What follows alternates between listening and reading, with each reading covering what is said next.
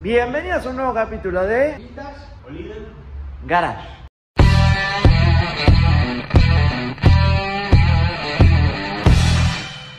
¿Qué estamos haciendo? Estamos tratando de arrancar el. Digo yo y ellos quieren acusar el flan. Claro. Pará, no. La realidad es que llegó Juan y quisimos. Se van de esas cosas y vuelven a, a las raíces. Le quisimos mostrar que tenemos el 50% de los autos de Vintage Olien en marcha. Claro. Por lo menos en marcha. En el backstage, bueno, yo llegué con el Torino. Juan, Ah, Juan hizo el test drive. No, eso no lo hice. La, la prueba Richard Rollins, quemó caucho, bloqueó las ruedas, llegamos y no se prendió fuego. Pasó la Vos pusiste en marcha. ¿qué? Que eso. El FIA. El FIA, eso es fácil. Claro. Y bueno, y ahora estamos acá. Y ahora estamos. La idea, la idea no es solamente poner en marcha, Es salir a hacer el test sino que drive. frene No, frenar, frena, creo. y Creo. que nos lleve a algún lugar, exacto. Perfecto. De punto A a punto B. Y volver. ¿Por qué no filmás el escape como está agarrado? Yo nunca vi una cosa así en mi vida.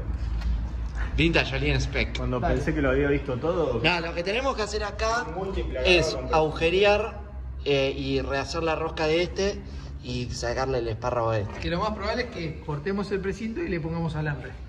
Las llaves las tengo en la mano. ¿Te mando un chopini? ¿Eh?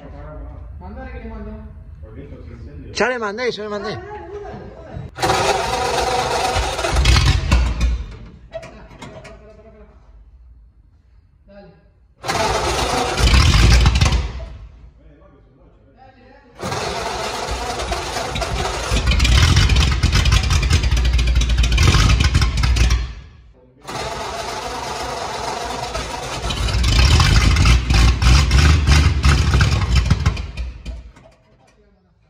Décimo quinto intento.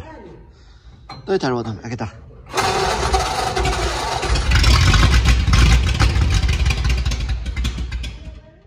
¿Llegó?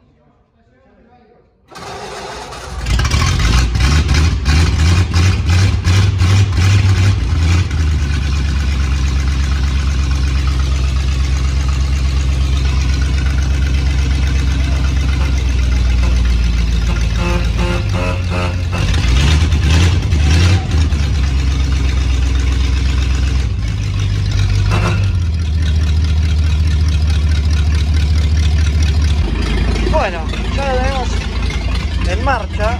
Esto se abrió. Teníamos un problema con el positivo de la bobina, así que lo, lo puenteamos. Y bueno, acá está ronroneando.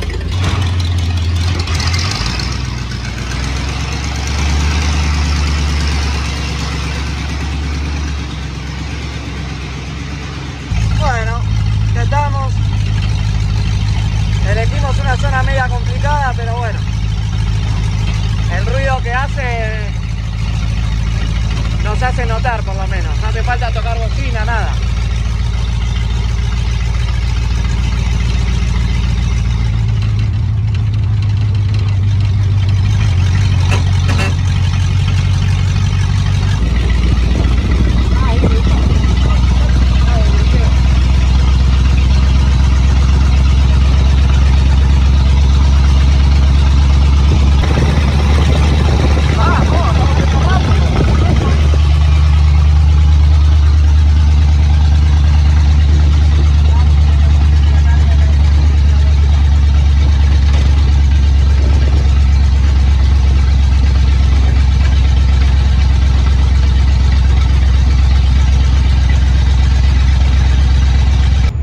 Bueno, y hasta acá llegamos, ¿no?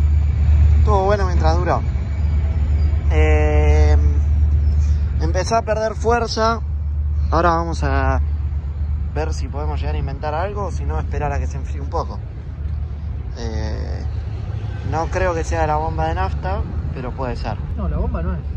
Si cuando le das arranque, tira nafta. ¿Tirado recién? Bueno, vamos a ver. Algunos centímetros más tarde. Bueno, nos volvimos a quedar. eh, evidentemente tenemos un problema eléctrico acá, en algún lugar de esto. Porque cuando levanta un poco de temperatura falla. Y falla cuando se suben las vueltas. Así que el condensador la verdad nunca lo cambiamos. Así que... Vamos a ver. Llegamos. Llegamos. Parece que está cerca, ¿viste? Pero Sí, hicimos varios, varios kilómetros dentro de todo. Tres paradas después. Sí. Así que bueno, primer salida 100, 100, 100% oficial. Primer salida oficial visitando acá a Fratelli. Sí, fallando que parecía, Juan decía que era un top fuel, ¿o no? ¿Los agarramos trabajando? Sí. Justo ahora no tanto. Haciendo una barra moderna tipo Pancho Ricky. A ver, ¿cuál? ¿Dónde? Acá. Acá, la claro. acá. Sí. Hicimos el- y ahora van acá dos durmientes de pinotea. Porque este cuarto de acá, como ven, está- está, no está habilitado. Y la última vez que vine, ya que estamos, le muestro. eh, le estaban poniendo esos lamparones, miren lo que es esto. Esos lamparones que Están funcionales. ya... Mirá qué lindo. Y este sería como un playroom, por lo que veo, ¿no? así. Muy lindo.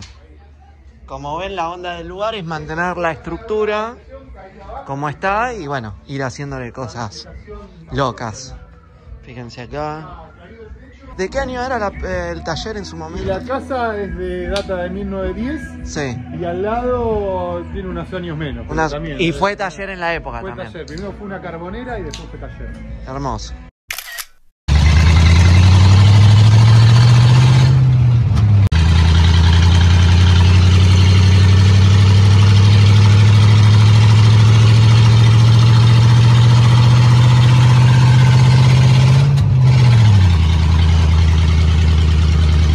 Bienvenidos a un nuevo capítulo de... En realidad es el mismo que el anterior. Ah, es verdad, tenés razón. Que Es la continuación del video. A continuación del video que Tenés razón. Entonces, va, eh, ahora lo que vamos a hacer es lo siguiente. El vehículo salió, dio su primera vuelta, ¿no? Eh, Hizo todo lo que tenía que hacer, tanto bien llevó- como mal. Sí, nos llevó de punto A a punto B mal, pero nos llevó y nos trajo. Sí, que eso no es, no es menor. Así que la idea de ahora es eh, ver de poder resolver el quilombo. Calculamos que debe ser un tema de puesta a punto de distribuidor. Vamos a revisar tema bomba de nafta para evitar que tenga el retorno, porque tiene retorno de combustible, o sea, se apaga y la nafta vuelve para atrás. Y vamos a revisar lo que es el distribuidor, a ver si le podemos dar, devolver esos caballos que está perdiendo, distribuidor, bobino, un par de cositas vamos a ir viendo. Vamos a mostrar el distribuidor afuera y cómo es, porque es muy poco convencional al resto de los distribuidores que habrán visto Y ustedes. tiene, pará, y este tiene doble eh, platino. Doble platino. Este tiene uno. Claro, o sea, O sea, viene originalmente con viene con doble y nosotros le sacamos uno para que sea más simple de poner en marcha, de hacer las pruebas iniciales. Y Teóricamente debería andar bien con uno, pero bueno, vamos a ver. Capaz que es una de las fallas que tiene. Sí, a mí me parece que viene más de algo que se calienta, pero bueno, puede el ser. condensador. No sé, ¿no? de condensador de flujos. Dale. Mostrame en qué estás trabajando mientras yo ordeno toda la macana ¿Eh? que hicimos Ah. en el video futuro y o Estaba anterior. desarmando la bomba Sí, para sacar las monedas ante Sí. el retorno. Que acá tiene, hay que sacar estos dos tornillitos de acá. Sí. Y tiene esta que es la de salida, digamos, que va al carburador. O sea que esta tendría que ser antirretorno. Y acá abajo tenés otra. claro. Lo que tengo que ver O si sea, va la así. nafta entraría por acá. Está bien, no, están bien orientadas. ¿Y cómo sabes que están bien orientadas? Porque esta, cuando apretás, se abre. Mirá. ¿Ves que cuando apretás se abre? Mm, ahora, ahora la vamos a sacar y vamos a ver. Sí. Porque capaz que. y- Y la nafta entra por acá, baja a la- al diafragma y vuelve a salir por ahí. Y ahí funca. Así que bueno, vamos a corroborar el estado de las, hay, hay que de las moneditas de, de nafta. Ahí está. Bueno, eh, diagnóstico. Ambas estaba. No, ambas no, una. Una estaba mala Sí. y la otra era eh, muy modernosa, digamos, de plástico. No, no, andaba. Estaba, funcional, estaba funcional, Sí. Pero bueno. Pero conseguimos dos. Conseguimos dos y dos de época Sí. con las arandelitas correspondientes. Y estas dos son nuevas, De por bronce, eso cambiamos las la de dos. plástico y son encima las dos iguales. Porque acá tenía una de plástico y una de aluminio con la- el casquillo. Sí, sí, de las viejas, digamos. O sea, sí, era vieja, pero no era tan vieja, Tan vieja como esta, sí. Esta se nota la calidad, nada que ver el peso, ya te das cuenta. Y encima, bueno, nada, funciona. Y son todas, no sé si de bronce o de qué son. eh, sí, es de metal con el, lo de adentro de, de baquelita. Sí. Bueno, y las dos arandelitas. Otro detalle a tener en cuenta, esa chapita tiene lado, así aprieta, si no, no va a apretar las monedas, así que bueno, ténganlo en cuenta, viene como con una pancita. Así que bueno, Por otro lado, vamos a empezar a sacar el distribuidor. Creo que tenía dos tornillos de media. Así que vamos a sacar los dos tornillos, eh, la tapa y vamos a sacar el distribuidor en sí, que está acá adelante, como ven. Plaqueta. Sacamos el distribuidor, ya lo desarmamos. Pará, ¿y el rotor? El rotor está allá. ¿Lo puedo mostrar? Mostralo el parche. El parche que andaba. Estaba puesto en el auto, que debería mejorar ahora. ¿El otro rotor dónde estaba? Estaba el rotor Reparado. reparado, pegado. Ahí está. Así estaba andando el auto. Y andaba. Y la chapita, ¿no?